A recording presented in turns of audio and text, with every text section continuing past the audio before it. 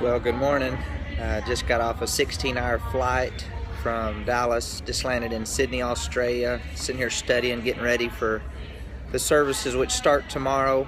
Uh, just thinking about environment. You know, you, you think of some fish, how they grow to the size of their environment, or how certain animals only grow to the size of their environment. How about your environment? When you look around, do you have the right environment for you to be everything that God has called and created you to be? You know, it's, it's possible to change without growing, but in order for us to grow, we can't do that without changing. What do we change? We change our attitude first and foremost. Well, how do you change your attitude? You change your thinking, which affects your believing, which affects your speaking and your expectations and your your character and your decision making. All of that's connected to our thinking. So look around your environment, and if you're stagnant, change environments and be all that God's called you to be. God bless you guys.